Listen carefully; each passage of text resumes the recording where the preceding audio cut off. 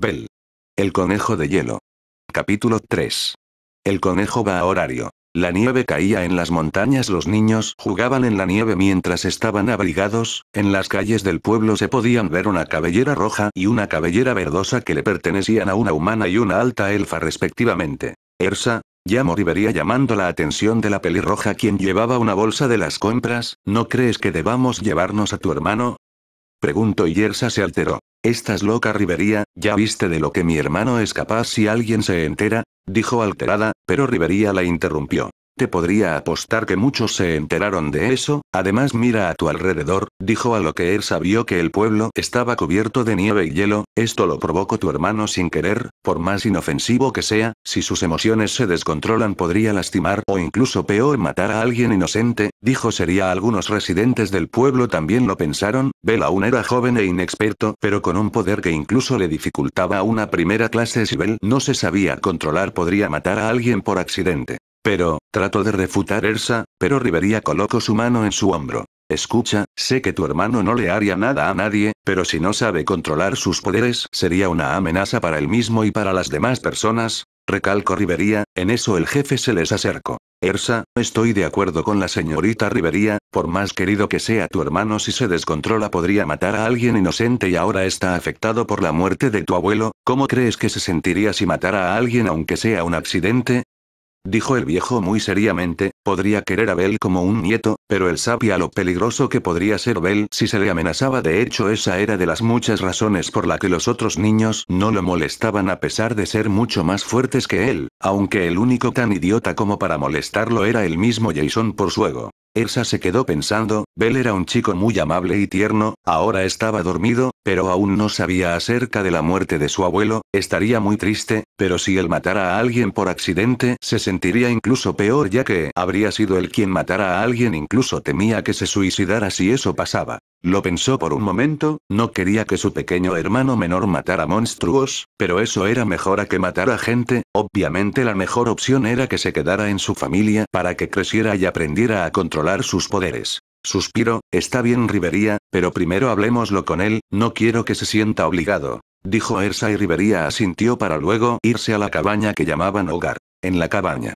Se podían ver a Tiona y Tione vigilando a Bell mientras que Ais también miraba al hermano de Bell. Se veía fuerte pero sinceramente no le llamaba la atención. Es muy lindo, dijo Tiona viendo a Bell quien dormía plácidamente con su conejo de peluche a su lado. Sí, pero baja la voz que no quiero que lo despiertes, dijo Tiona regañando a su hermana para luego ver a Ais. ¿Tú qué dices Ais? Preguntó viendo a la rubia quien vio a Bell. Lindo, dijo Ais con una ligera sonrisa para luego pasar su dedo por la mejilla de Bell, sintió una leve descarga eléctrica como si ya lo conociera, pero de repente Bell comenzó a despertar, este se sentó en la cama mientras se rascaba el ojo con pesadez. ¿Qué? Bell bostezó de forma linda con una mirada cansada y apartaba un mechón de cabello de su cara. Oh, ¿despertaste? Dijo Tiona viendo al joven semi-espíritu quien la vio algo confuso y tímido por la escasa ropa que llevaba. ¿Dormiste bien? Preguntó Tione viendo al joven de hielo, quien se veía algo nervioso y sonrojado puesto que nunca conoció a estas personas. Ah. Afirmó Bell de manera tímida hipnotizando a las hermanas que no dudaron en abrazar a Bell. Oh, oh, qué ternura, dijeron las gemelas embelesadas por la ternura de Bell el cual estaba siendo abrazado entre la suavidad de Tione y la dureza de Tiona. Itai, chilló Bell debido a que le dolía un poco que lo apretaran tanto, eso fue notado por Ais quien separó a las amazonas del niño. Lo lastiman, reprimió Ais tirando las orejas de las gemelas. Itai Ais, dijo Tione por el ardor en su oreja. Ya, ya ya entendimos. Deja nuestras orejas, dijo Tiona a lo que Ais soltó sus orejas y se empezaron a sobar sus orejas por lo calientes y adoloridas que estaban. Itai, ahora me arde la oreja, se quejó sobándose la oreja cuando sintió una sensación fría y agradable cerca de su oreja al fijarse vio que se trataba de Bell quien les lanzaba un ligero aire frío en sus orejas que salían de sus pequeñas manos y de alguna forma Yoshinon estaba sobre su cabeza como si se asomara. Gracias chico, dijo Tiona sintiendo el alivio en su oreja a lo que su hermana también agradeció. No. No hay problema, negó Bell dando una sonrisa inocente para luego ver a las chicas con confusión y curiosidad. Disculpen quiénes son ustedes señoritas, preguntó con inocencia ganándose la mirada de las chicas. Somos amigas de Ersa, dijo Tiona a lo que Bell le respondió con una A muy inocente que le derritió el corazón. Yo soy Tiona la que está a mi lado, es mi hermana Tiona y la rubia es Ais. Presento al equipo. Un gusto, Tiona-san, Tionesan, Ais-san, Saludo Bell mientras que por alguna extraña razón la pata derecha de Yoshinon sobresalía como si estuviera saludando cosa que intriga un poco a las chicas presentes, ¿no quieren que les prepare algo?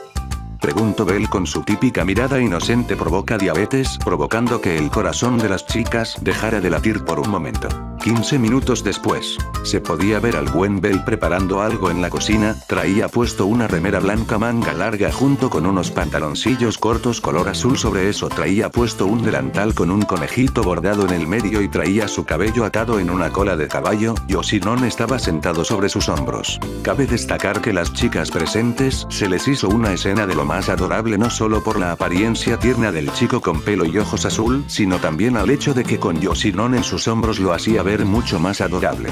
Qué lindo, sabía que Elsa dijo que su hermano era así de adorable, pero nunca pensé que lo sería tanto. Dijo Tione viendo al peli azul que preparaba un curry de lo más tranquilo. Tendremos problemas con los pervertidos en horario, no quiero verlo perder su inocencia tan pronto, dijo Tiona viendo al chico peli azul.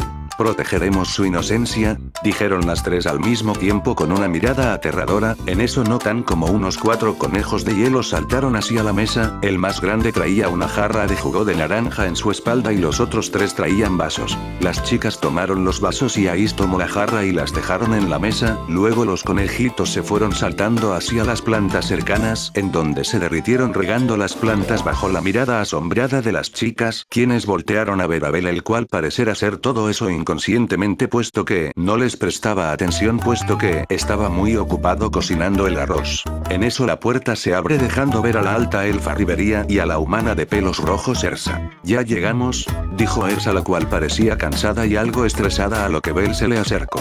Bienvenida One-chan, la comida ya casi está o prefieres un baño? El baño ya está listo, dijo Bell de lo más tranquilo con su pequeño delantal azul con un conejito bordado y un cucharón en su mano. Gracias Bell me bañaré, afuera hace frío, dijo Ersa, al parecer estaba tan cansada que no notó el hecho de que su hermano menor estaba frente a ella agarrando las compras y el abrigo de su hermana al igual que el de Rivería. Luego de eso Ersa se fue a bañar ignorando a las chicas que estaban en su casa. Supongo que estaba tan cansada y pensativa que no notó el hecho de que el niño estaba frente a ella, dijo Rivería para luego ver a Bell, con que tú eres Bell, no has causado muchos problemas, mencionó a lo que Bell puso una carita nerviosa de lo más adorable y por más extraño que parezca Yoshinon pareció imitarlo. Lo, lo siento, no quería causar problemas, Bell se disculpó mientras hacía reverencias, claramente era un chico que no buscaría problemas en ningún momento en ningún lugar con ninguna persona además de ser de lo más adorable y con ese peluche de conejo en sus hombros también era muy lindo. Hablando del peluche, este parecía estar acariciando la cabeza de Bell mientras este aún tenía la cabeza inclinada, sería él porque el chico hizo múltiples golems de hielo o él había movido la patita del peluche sin que ella se diera cuenta además, había algo extraño en ese peluche, ignorado eso, Rivería posó su mano en la cabeza del joven de pelo azul, se sorprendió de lo sedoso y suave que era, a eso sumado al hecho de que el niño era delgado con una piel blanca y una mirada inocente, sería blanco fácil para un pedófilo. No te preocupes, viendo la situación, era algo obvio que estarías asustado, dijo Rivería acariciando la cabeza del niño de pelo azulado el cual solo se quedó quieto y pareció tensarse un poco, ¿pasa algo? Preguntó. Ah, Ah no oro, oí de One-chan que a los elfos no les gusta que alguien los toque sin su permiso, dijo para luego alzar la mirada viendo a la alta elfa, ¿está bien con que yo la toque? Preguntó con un tono tan inocente que a la elfa le dio un mini infarto de lo lindo que era, por un momento la alta elfa rivería, esa elfa que no dejaría que nadie la tocara si no quería un hechizo mágico de nivel 4 en toda la cara se sonrojó, notando el ardor en sus mejillas la alta elfa recompuso su postura. No hay problema, en horario las razas están forzadas a dejar ese tipo de tradición puedes tocarme como quieras. Eso sonó mal, mejor tócame como lo harías como una persona normal un apretón de manos o un abrazo, dijo Rivería para luego corregirse. Oh. Ok, dijo Vela sintiendo pero se le notaba confundido, cuando olió algo, fue. El curry. Bell fue corriendo a la cocina como conejo a su madriguera ya que el curry se estaba por quemar. Diez minutos después. Las chicas estaban comiendo tranquilamente la comida del joven, mentirían si dijeran que no era deliciosa, su comida era realmente buena hasta la inexpresiva Ais tenía una pequeña sonrisa al degustar a las comidas del joven. Wow, esto está delicioso, dijo Tiona comiendo felizmente. Es muy bueno, agregó Tiona. Riveria no dijo nada al igual que Ais, pero aún así se les notaba el gusto al comer la comida del joven de cabellera azul con el conejo en sus hombros. Gracias, es que mu abuelo cocina pésimo así que tuve que aprender a cocinar, dijo Bell un poco nervioso, aunque las mujeres se tensaron a la hora de mencionar al abuelo del chico, cosa que fue notado por Bell, no se preocupen, ya sé que no sobrevivió. Dijo algo triste mientras se detenía de cocinar. ¿Lo sabes? Preguntó Rivería seriamente. Claro que lo sé, mi abuelo es fuerte si no lo han encontrado hasta ahora significa que está muerto, dijo Bell con un tono algo triste y calmado sorprendiendo a las chicas por cómo veían al chico el cual no solo por apariencia sino también por personalidad infantil creerían que lloraría o se deprimiera, bueno, al menos ahora tiene el descanso que tanto quería, supongo que no tendrá que aguantar las críticas de los demás, con una sonrisa pura Bell dijo lo que sentía por su abuelo. Las chicas solo sonrieron ante eso, era obvio que Bell a pesar de su apariencia y amabilidad también era una persona que podría llegar a ser madura. Bueno. Llamo Bell sacando unas cosas de una freidora, ¿quién quiere Yagamaru-kun?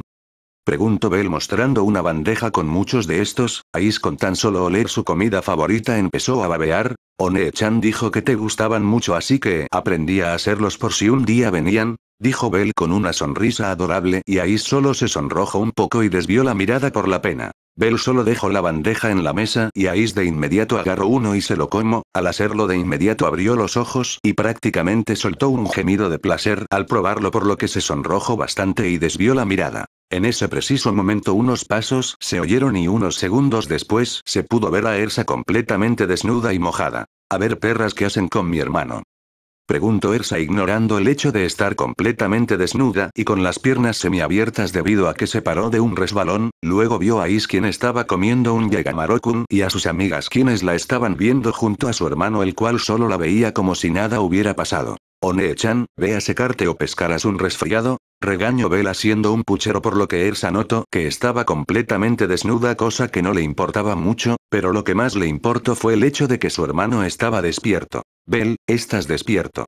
Ark, Elsa se lanzó a abrazar a su hermano, pero antes de que lo tocara este le dio un golpe en la cabeza con el cucharón haciendo que se detuviera y se sobara la cabeza. Nada de abrazos por ahora ve a secarte y a vestirte o te enfermarás, Regañó Bell con un tono enojado que solo lo hizo ver más lindo a ojos de las féminas, sin más Elsa se fue dejando una nube de polvo con su forma, sacándoles una gota de sudor en la frente a sus amigas por dicha escena. Em, creo que hay demasiado polvo, podría jurar que limpie ayer. Dijo Bell confundido, pero luego le restó importancia. Eres prácticamente la ama de casa, pensaron las chicas viendo cómo Bell secaba el piso en donde estaba Elsa, a lo que Rivería estaba algo seria. Pareces muy acostumbrada a ver a Elsa desnuda, dijo Tiona y Aisa sintió y las chicas vieron a Belle. Bueno, cuando viene normalmente me baño con ella además de que a ella le gusta ir con poca ropa o completamente desnuda en la casa, dijo Belle con toda la inocencia del mundo haciendo que a las mujeres se les cayera una gota en la cabeza.